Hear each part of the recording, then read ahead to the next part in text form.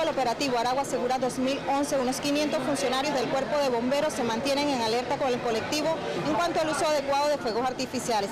Según el comandante de este ente de seguridad, Gilberto Méndez, el índice de quemaduras, incendios, ha disminuido un 40% en comparación con el año anterior.